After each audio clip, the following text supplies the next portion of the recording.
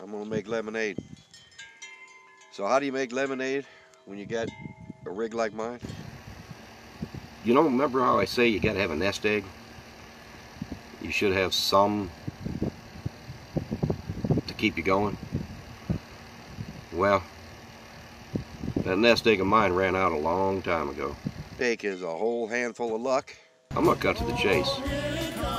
I'm gonna start a fundraiser. I haven't had any energy. Right now, I'm sitting in the heat. Y'all know that kicks my butt. Yeah, I've had nothing but problems with this motor. So anyways, that's how I'm gonna be making lemonade. I'm gonna put a new motor in here. I'm sitting at the property right now. Aja, you know, is allowing me to stay here and work on it. Don't want to get your hands all nasty. Okay, we're ready. I did find the motor. I haven't bought it yet. Hopefully it's still there by the time I get paid or whatever. Making lemonade out of this lemon. Your hooker name, because you're a foul street hooker. That's all, folks.